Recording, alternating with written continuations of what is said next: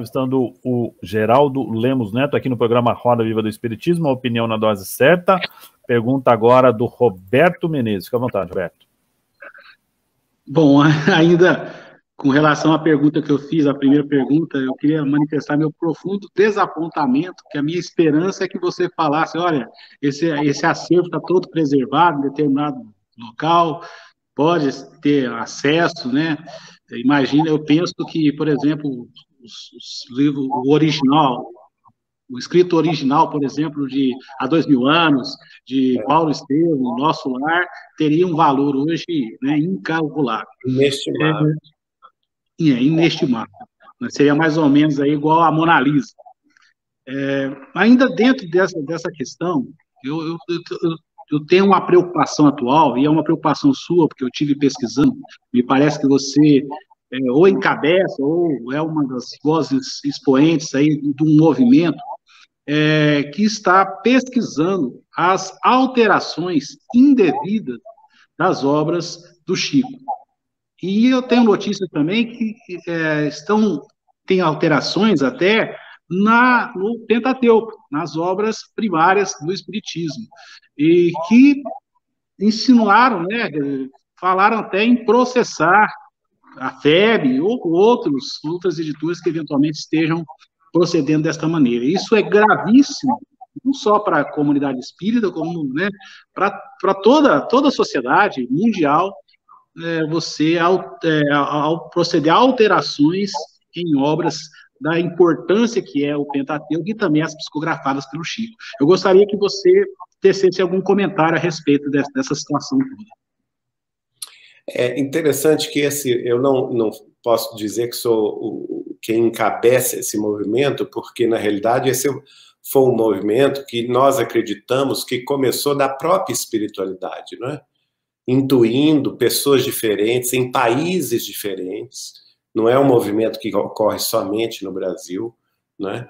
Que de pesquisadores que resolveram de uma hora para outra, vamos dizer, dos últimos três anos para cá, a buscar na nos sebos, que hoje é muito difícil você comprar um livro do Chico Xavier, editado pela Federação Espírita Brasileira, na sua primeira edição. Né? É muito raro, porque as famílias guardam isso nos seus arquivos, nas suas bibliotecas pessoais.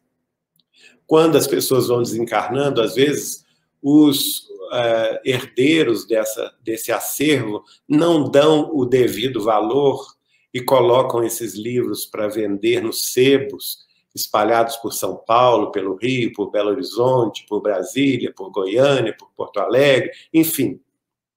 E o que, que acontece? Então surgiu esse desejo de, de um grupo de pessoas, eu estou falando em mais de 50 pessoas, um foi falando com o outro. Vamos fazer então uma coleção dos primeiros é, primeiras edições do Chico Xavier. Então passamos a buscar as primeiras edições. E, e naturalmente, ao, ao, ao termos das mãos essas primeiras edições, vários dos nossos confrades tiveram a intuição de compará-las com as edições atuais, as últimas edições. E aí o nosso cabelo ficou em pé, porque nós começamos a ver que houve profundas alterações no texto, em comparação com os originais publicados por Chico Xavier e autorizados por Emmanuel, por André Luiz, por Humberto de Campos, por Neio Lúcio, não é? Então, for, formou-se aí uma comissão para estudar o assunto, grupos de estudos, pesquisadores no Brasil inteiro e também no exterior.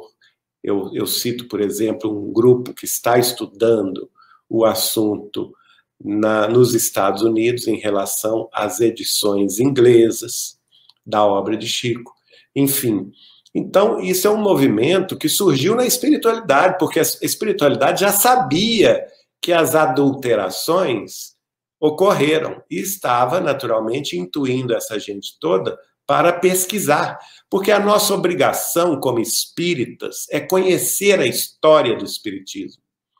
Então nós não podemos achar que dentro do espiritismo nós temos um Vaticano, que esse Vaticano chama-se Federação Espírita Brasileira, e que ele manda nas nossas consciências, porque esse tempo já passou. O tempo do absolutismo, dos papas, dos cardeais, já passou há décadas, há centenas de anos. Então, nós não podemos repetir os mesmos erros que, infelizmente, a doutrina católica romana cometeu com as informações constantes da Bíblia, especialmente do Novo Testamento, que todos nós sabemos que ao longo dos séculos foram adulterados e alterados a seu bel prazer, não é? Então, por isso mesmo surgiu esse movimento de comparação. É, embora ao, até hoje a Federação Espírita Brasileira não tenha é, reconhecido o erro do caminho que ela tomou a partir do ano 2012, que foi o ano a, a, a, depois do qual surgiram essas adulterações injustificáveis, é, foi, foi, foi feito, está sendo feita uma tentativa de composição, inclusive em Minas Gerais, encabeçada pela União Espírita Mineira, na pessoa do seu presidente, que convocou todos os conselhos regionais espíritas do estado de Minas Gerais inteiro para tomar ciência do assunto e analisar o que fazer.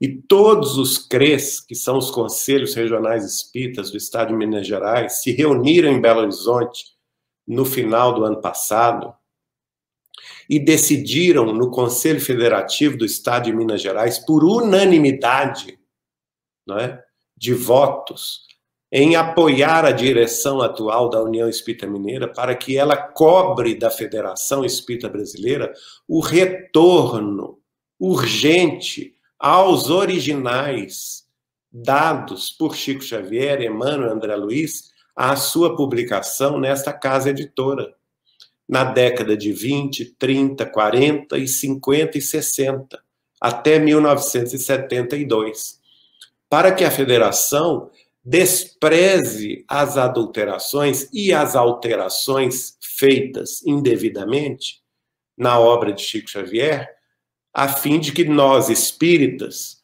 nós participantes do movimento espírita, tenhamos acesso ao que os espíritos escreveram e não acesso ao, a, às cabeças dos espíritas encarnados que, com seus pré-julgamentos, se julgam, se colocam na posição de censores ou na posição de, é, de corretores dos espíritos de Emmanuel, de André Luiz, de Neio Lúcio, de Humberto de Campos, porque esta é uma posição que nós não podemos aceitar. Não é? nós não podemos aceitar. A, Federa a União Espírita Mineira tem tido um trabalho enorme em combater isso, inclusive dentro da Federação Espírita Brasileira. É, tem tido apoio da, da USE de São Paulo, tem tido apoio da Federação Espírita do Estado do Ceará e outras federativas, para que a federação reconheça que há sim um, um que houve um engano nós não estamos aqui acusando ninguém, porque nós sabemos muito bem que as pessoas podem, na boa fé, é, tropeçar.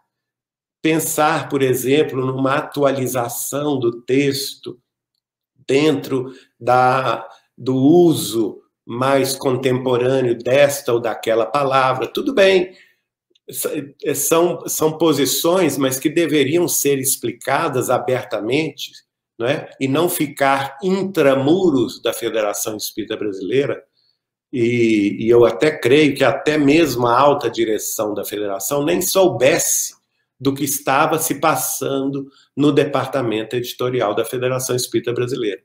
Então, de modo que esta é uma realidade inconteste, embora até hoje, infelizmente, a federação teima em negar o fato, mas só para vocês terem ideia, nós utilizamos uma comparação da primeira edição do livro Nos Domínios da Mediunidade é, com a edição publicada mais recente, e esta, esta comparação dos originais contou, inclusive, com um, um software de inteligência artificial que comparou todos os textos e encontrou 450 modificações no que André Luiz escreveu.